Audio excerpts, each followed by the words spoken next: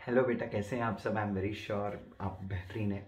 और बच्चों मैं आज आपके साथ एक छोटी सी स्टोरी करना शेयर करना चाहूँगा। आई बिलीव कि इस स्टोरी को आप थोड़ा सा सीरियस लेंगे और कुछ सीखेंगे यहाँ से।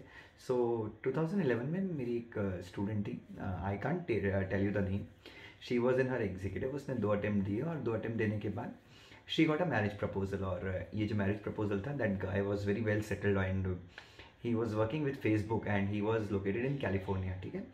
बहुत अच्छी स्टूडेंट थी मेरी and she came to me and she said कि, Dushyant sir you know what I want to you know continue C S but due to my marriage I won't be able to continue so sir what do you advise me so I was very much happy you know after hearing that कि, यार, भाई, इनके जो पतिदेव हैं होने वाले पति हैं he is working in California with such a nice company and then things really went well she got married and she then उसने मुझसे नोट्स लिए and she took her notes to California I was very happy कि यार मेरे notes California जा रहे हैं and then you know she got married she और कहाँ अमेरिका जाने के बाद आप पढ़ पढ़ोगे और कहाँ पे आप अमेरिका से एग्ज़ाम देने के लिए इंडिया आओगे?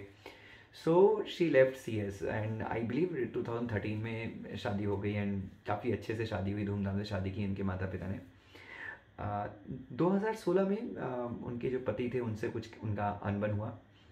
2016 में she came back to me and she said कि दुष्यंत सर यू नो अब जो है लाइफ काफ़ी चैलेंजिंग हो गई है क्योंकि मेरी पति से मेरा झगड़ा हो गया 2016 में और uh, अब हमारी बिल्कुल भी नहीं बन रही है सर नो तो अब बताइए मैं क्या करूँ अब मैं सीएस वापस से शुरू करना चाहती हूँ। 2016 में she had come to me तो फिर मैंने उसको शायद उस समय सिलेबस चेंज हो गया था उस समय वो सात सब्जेक्ट वाला सिलेबस था तो मैंने उसको बोला कि एक काम करो यार सबसे पहले तो यू you नो know, आप कोशिश करो कि आप पति से बात करो वापस से चीज़ों को नॉर्मल करो क्योंकि at this point of time uh, उनके पास luckily they did not have child उनका कोई बेटा या बेटी नहीं थी।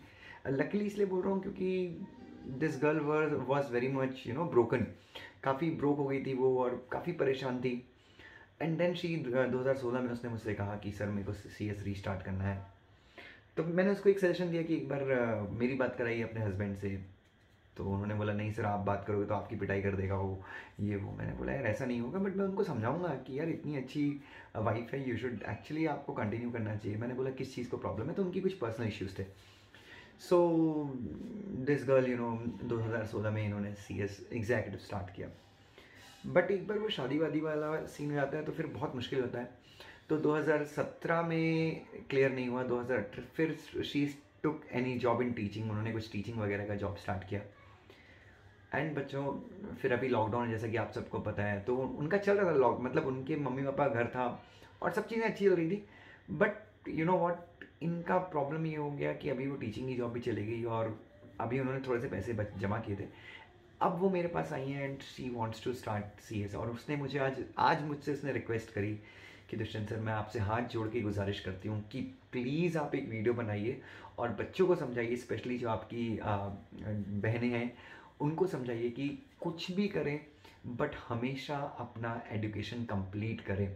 तो बच्चे, यहाँ पे लड़की हो या लड़का हो, इस वीडियो के थ्रू मैं आपको एक ही चीज़ कहना चाहूँगा। बच्चों, अपना एजुकेशन अगर कंप्लीट हो गया ना, अपनी शिक्षा अगर कंप्लीट हो गई तो वो अपने लिए सबसे ज़्यादा वैल्यूएबल एसेट है। पता है, अपन, अपने को कोई दबा नहीं सकता, और ये चीज़ तो एकदम निश्चित हो जाती है कि यार अपना भविष्य ना बहुत उज्जवल है यू नो मतलब बुरे वक्त में बच्चों लोग बोलते हैं, बुरे वक्त में ये काम आता है, वो काम आता है बट मेरे हिसाब से किसी का भी कितना डिफ़िकल्ट टाइम हो बच्चों, बुरे वक्त में सिर्फ़ एक ही चीज़ आपके काम आती है, आपकी शिक्षा।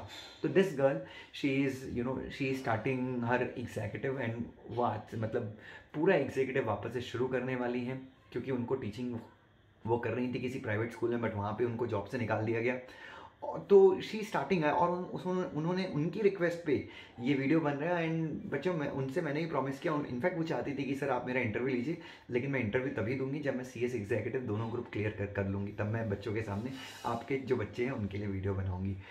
तो बच्चों वीडियो का एक ही मकसद मैं आपको बताना चाहता हूँ, बच्चों, वक्त देख के नहीं आता, कब वक्त किसका चेंज हो जाए। अगर आपके पास एडुकेशन है तो हमेशा हमेशा आपकी वैल्यू होगी। प्लीज़ बच्चों प्लीज़ आपने कुछ भी काम स्टार्ट किया, चाहे सीए हो सी एस हो सी हो, बीच में ये कोर्सेज मत छोड़िए। अपना एजुकेशन कंप्लीट कीजिए, उसके बाद शादी वगैरह है। इनफैक्ट मैं पेरेंट्स को भी बोलना चाहूँगा कि प्लीज़ अपने बेटी हो या बेटा हो, उसकी शिक्षा प्लीज़ कंप्लीट कराइए, क्योंकि एक बार शिक्षा कंप्लीट हो जाती है तो और बच्चे, ये नहीं कि लड़के ख़राब है, वो तो मैं आपको एक एग्जांपल दे रहा हूँ कि ऐसा हुआ। लेकिन मैं तो एज आ आप सबका बड़ा भाई हूँ तो मैं कभी ये नहीं चाहूँगा कि किसी की भी ज़िंदगी में कुछ भी ऐसा हो, जहाँ पे यू नो हमको अपने भविष्य के ऊपर खतरा नज़र आने लगे। प्लीज़ अपना एजुकेशन कंप्लीट कीजिए। Love you so much thank you बच्चों। और आपके सामने, आप सबके सामने मैं नतमस्तक हूँ। आप लोगों ने आज इतनी सारी विशेष दी, मुझे टीचर्स डे की थैंक यू बच्चों. थैंक यू आज बहुत आँसू आए। कई लोगों ने बहुत ऐसी ऐसी चीज़ें लिख दी कि मैं अपने आप को रोक नहीं पाया। और दिल से आभार, बच्चों. दिल से आभार, बच्चों. Thank you so much God bless you